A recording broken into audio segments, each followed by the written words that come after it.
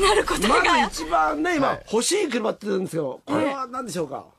僕初めて 1, 1億円プレイヤー最年少でなった時に、初めてフェラーリ買ったんですけど、やはりはい。それ何年目ですか？えっ、と3年目あよ4年目か5年目。で、もはい、はいはい。で22ぐらいだ。はい。はい。それで、えーそこから昨年まで、えーだから二十何年間ずっと、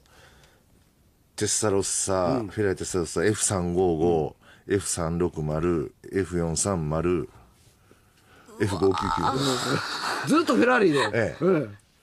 それ去年手放しましたけど、えはい。まだ頑張って、あのー買おうかなと思ってもう一回フェラーリを。はい。一から出直してですね。今何のフェラーリが欲しいんですか？F12 っていうやつがあるんですけど、F12 はい。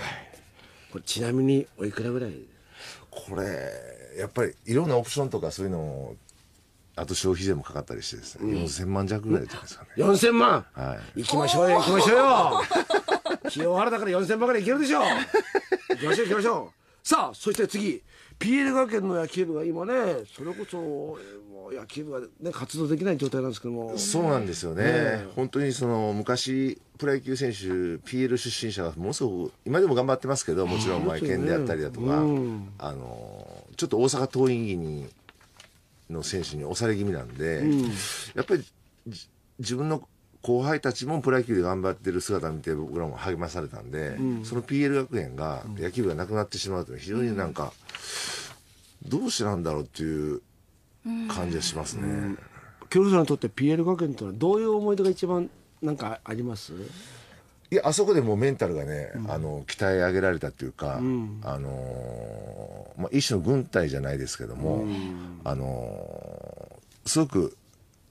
親のありがたみも3年間寮生活するんですけども、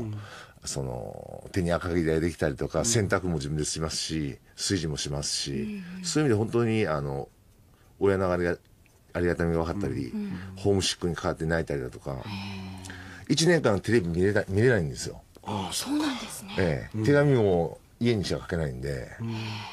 それで親と面会できるのが3ヶ月に1回ぐらいなんで、本当にそこでメンタル鍛えられるっていうそれを例えばなんかわかんないけどねホームシックになったり、まあ、彼女とかいたかどうかわかんないんですけども、ええ。そういうのはどうだったんですか？いやもうすぐもうそういうとこじゃなかったですね。あの本当に毎日あ今日も生きててよかったって。究極ですね。さあ